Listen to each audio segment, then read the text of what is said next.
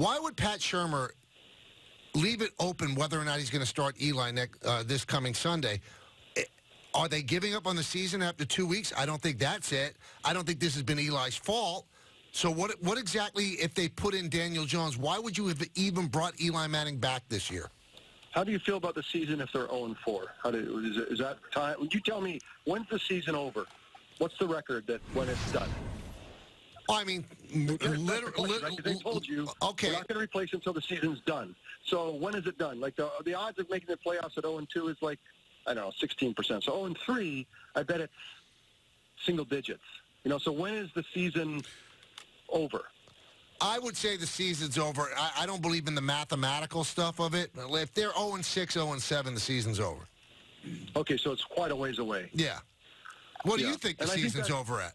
I, I, I think the season's over. I, the mathematical is, I understand that, but at some level, if they go and like I, I feel like what happened today was look, Eli's going to play this week, but if we go 0 three, I'm going to I'm going to feel like the season's slipping away from me as the coach because I got to keep my job. And then I think 0 and four, and then you're like, that's what we we got to change it. So that's why I think he's to me he's signaling that I told you when we're going to stay with Eli as long as the season's in, but I might have to move that up if we can't win football games. Well, the regardless argument of whose fault it is, regardless, I mean, we realize it's not Eli's fault, but no matter whose fault it is, we don't win football games. I'm making a change. Well, the argument Michael and I had was like I agree 0 2 seems a bit early because we've seen teams come back from 0 2. The Giants won a Super Bowl in 2007 starting 0 But 2. Don, But- but, Don, don't you watch? I mean, I, this is the most amazing thing about the NFL. You have six months to contemplate big, huge, vital, ex- existential issues that they have to deal with in the football team, and then one game in, and that six months goes away, and everyone panics. Right? They mm-hmm. I've seen it over and over and over again. So do not be, be confused. Is the panic sets in super fast, no matter how much Right. oh, we had a plan. We it's feels like Tyson. You have a plan to get punched in the face. They go into it like, oh yeah, that plan we had. I'm a coach. I'm not. I'm not going to get fired over this, and I think Daniel can do something. I'm going to make a. Ch-. That's the kind of stuff that happens Well- really fast. Well, I guess the, the argument was if, if they pull the plug, and I agree with you, even though they might be greasing the skids here, Eli's going to play against Tampa in week three. But they lose that game, and then they take on Washington. If they end up playing, um, if they end up playing Jones in week four, it's not to create a spark. It's acknowledging we're not going anyplace. I want to play this kid as much as possible to getting ready a running start for 2020. So if they end up pulling the plug on Eli either this week or next week, do you think it's to create a spark and save the season, or just an acknowledgement we're not going anywhere anyway? So let's get the kids as much a start as possible.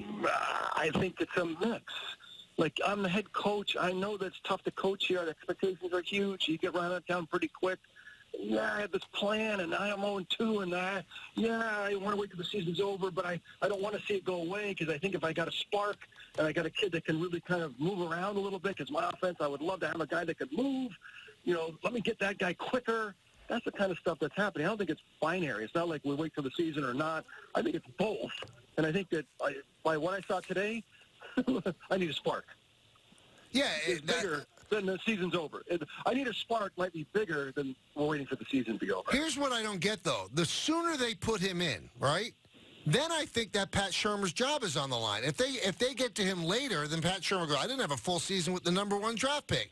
If they put him in in week three or four, well, you you know what? You had him for 13 games. If you don't win with him, we're going to bring in another coach. I think that both him and Gettleman are on the Yeah, hot seat. Michael, I don't, I don't know. I feel like the transition. Yeah, okay. I, They, I- they I fired think there's McAdoo after two calculus there. years. Yeah, there's a little calculus there, but I also believe he has some. He, he has some. He has another season to go get some space. And I, maybe the gamble is I think Daniels can play pretty well.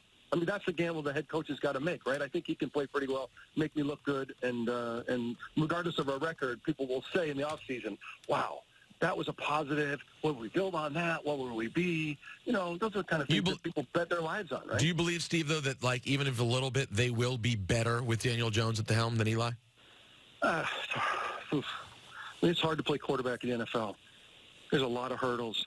And Eli's run over a lot of hurdles, and yeah, Ray, Ray, you know, granted he hasn't many more that he can jump over, but there's also the odds of a new quarterback coming in and being a franchise quarterback are low.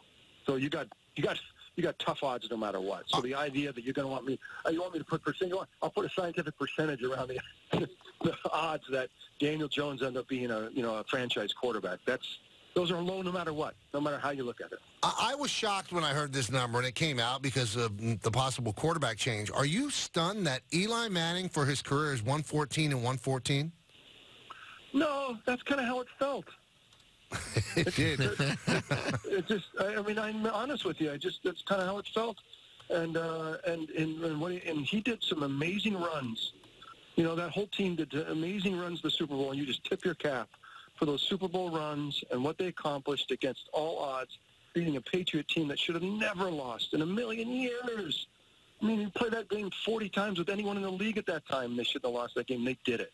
They did some Her- Herculean things, and I think that's the thing that I tip my cap to Eli is he did Herculean things that I just I'm going to that. Remember that frozen game in in Green Bay when he just threw it around like he was like a sunny day in Miami. I just those things I I'll never I'll always think that Eli is one of the greats because of the things he did in those Herculean moments. But as far as the record, that kind of feels like what what it was.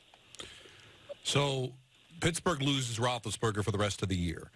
Is it inconceivable that they might reach out to the Giants? Hey, if you're thinking about benching Eli, maybe we can make a deal. The, the families get along with each other. They're family members, for God's sakes. I mean, would, would that would that work, or is that just inconceivable?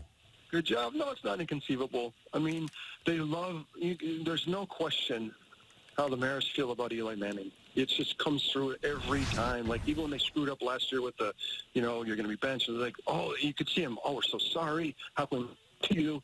You know, what can we never do that again? There's just something special about that relationship. We should appreciate that in the NFL. It's very rare.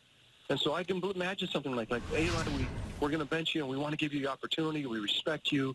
You know, the Rooneys would like to give you a shot. I can, that doesn't, that doesn't seem far-fetched in my mind because of the respect they have for Eli.